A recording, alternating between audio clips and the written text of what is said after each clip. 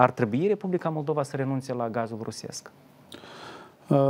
Eu cred că e o decizie care trebuie luată informat.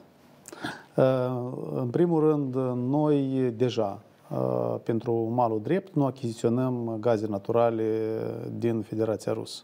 Toate gazele naturale care le-am consumat iarna asta au fost cumpărate din, de pe piețele internaționale și apropo, în sensul ăsta, noi am realizat un fel de, deci iarăși uh, revin la tema, una din temele mele preferate, că uh, modul în care a fost gestionată criza în sectorul energetic a fost cu mult mai bun decât imaginea care s-a creat în societate vis-a-vis de sectorul energetic. Și atunci, noi, dacă ne uităm calm la lucruri, în timp de un an jumate am realizat câteva salturi, deci suntem cu câteva capuri mai sus din punct de vedere a securității energetice și securitatea alimentării cu gaze este unul din subiecte. Repet, noi deja am trecut o iarnă practic întreagă, fără gaze de la Gazprom, ceea ce era inimaginabil un an jumate în urmă. Mai mult ca atât, noi avem stocuri de gaze naturale, uh, suntem gata de eventuale sistări de livrări, crize, dar nu putem spune că, și atunci când vorbim de trebuie sau nu trebuie să renunțăm, uh, trebuie să avem în vedere că uh, da, chiar dacă rolul Gazpromului pentru, pe piața de gaze a Republicii Moldova s-a redus dramatic, deci noi Uh, repet, uh, doar malul stâng consumă gaz de la Gazprom. Um, tot, totuși uh, există o influență semnificativă asupra pieței de energie electrică, indirect, prin aceste livrări de gaze în stânga Nistrului. Este, spunem, din acest gaz este produs curent electric la centrala termoelectrică moldovenească din orașul Dnestrovsk din regiunea transnistriană. Respectiv, uh, noi avem uh, uh, posibilitatea să achiziționăm gaz să avem să achiziționăm energie electrică mai ieftin decât la prețurile care le-am fi plătit dacă nu era această furnizare de gaze gratuit de fapt în stânga Nistru.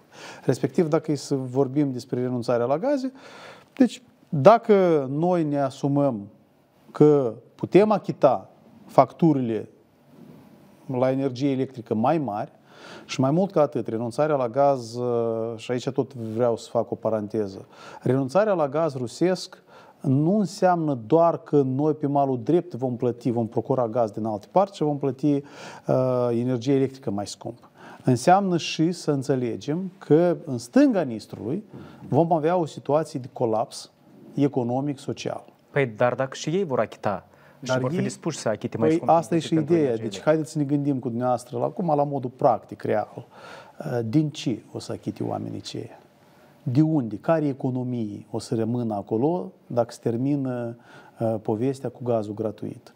Ce o să rămână acolo? Centrala termoelectrică moldovenească? Atunci poate s-ar schimba retorica față de autoritățile de la Chișinău. Eu sunt de acord. Dacă noi facem, dacă noi suntem gata să, uh, uh, spunem, absorbim toate consecințele, acestei crize, eu sunt de acord. Deci se va schimba și retorica, mulți se vor schimba în stânga Nistrului, odată ce să renunță la această, uh, spunem, uh, uh, livrare din partea Gazprom.